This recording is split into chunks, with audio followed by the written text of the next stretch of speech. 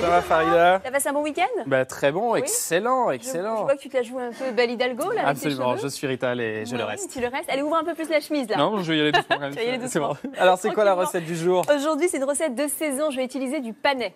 En ce moment, c'est la saison, ouais. c'est pas toute l'année, donc faut en profiter. Un légume d'hiver. Un légume d'hiver. Je vais vous proposer des œufs cocottes panais mimolette avec un petit croquant à la noisette. Ah, j'adore les œufs cocottes. Alors, Alors, c'est très te simple à faut Alors, des œufs, évidemment. Des œufs, bien sûr, des noisettes, Ouais. du panais, des échalotes, du fromage frais, de la chapelure et enfin de la mimolette. Bon, on attaque le panais On attaque le panais. Alors le panais, bah, ça se cuisine comme une carotte. hein. Oui, Une carotte, donc on, on retire la peau parce que la peau est un peu plus épaisse que la carotte quand même. d'accord. Et ensuite, donc il va simplement. euh, Ensuite, on fait va, des va- petits- on va des faire des petits petits cubes. cubes. Alors le panais, hein, c'est un légume de saison effectivement, oh, pardon, riche en magnésium et riche en potassium.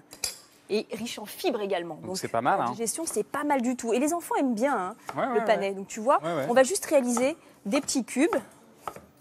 Hop là, on pris parfois un un peu côté un peu plus farineux que la pomme de terre, mais. euh, Oui, et bien un, petit- goût noisette un qui est petit goût de noisette qui est plutôt sympa. Donc on va réaliser des petits cubes. Donc on a pris, j'ai pris un peu d'avance. On va commencer. sont là, Ils sont là. On va commencer par les faire revenir avec un petit peu d'échalote. Tiens Thomas, tu peux prendre la, la- la cuillère s'il te plaît. On les fait revenir avec des échalotes quelques minutes. Panais. Voilà, avec un bien. petit peu d'huile d'olive. Voilà. Et ensuite, on va couvrir d'eau. Et on va laisser cuire jusqu'à ce que les panais deviennent tendres, à peu près 10 minutes. Tu vois? D'accord. 10 petites minutes. Une petite lichette de sel, une petite lichette de poivre. Voilà. Et là, on est bon pour la ça cuisson cuit du panais. rapidement parce que c'est en Ça cuit très très rapidement. Très bien. Donc là, j'avais pris également un peu d'avance. Donc là, j'ai mon panais qui est cuit, Ouais. déjà tendre, et on va pouvoir le mélanger. On les laisse d'abord refroidir, attention. Ah. Sinon, la mimolette va complètement fondre. Donc, on va préparer maintenant la garniture donc pour les œufs cocottes. Donc, t'as coupé de la mimolette voilà, mimolette hachée finement. Donc la mimolette, on s'en sert pas suffisamment, mais c'est vrai qu'au niveau de la couleur, c'est joli, c'est bon sympa. pour le goût. Les enfants aiment bien Ouais. parce que c'est plutôt ludique. Donc tu vois, regarde, on mélange. Voilà, les- Ah, le panais. crème. Alors c'est pas de la crème, c'est du fromage frais. Fromage frais, mais c'est vrai que celui-ci. Double il est- ration de fromage. Celui-ci, ah bah oui, si on veut, euh, on peut même mettre de la crème liquide un petit peu hein, Oui. pour apporter encore plus de gourmandise. Mais là, je voulais, je voulais rester quand même sur une recette pas trop, pas trop gourmande. Enfin, pas trop, Pas trop euh, diététique surtout. Ah, plutôt diététique même.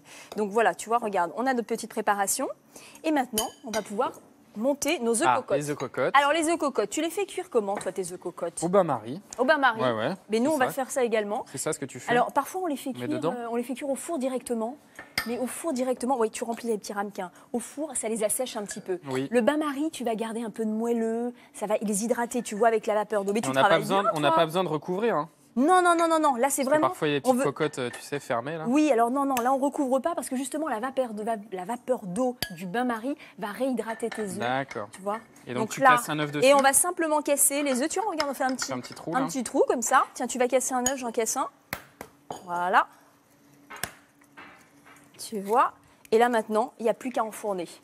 Ah bah, je l'ai éclaté, Oh bah alors, bah alors Thomas. bon, bah, celui- celui-là, ce sera le tien. Ouais, Et l'autre, ce sera celui de Maya. Il est plus beau. Et le, croqui- le croustillant, c'est après? Le croustillant à la noisette, je le prépare après. Tu vois, j'ai concassé des noisettes. Ouais. C'est- Attends, déjà au niveau de la cuisson, attends. Combien de temps? Cuisson, on met un petit peu d'eau, hop là, on fait le bain-marie, 8 Ouais. à 10 minutes à 180 degrés. Et pour le petit croquant qu'on mettra après, donc j'ai fait concasser des petites noisettes, tac, tac, tac. On ajoute un petit peu de chapelure.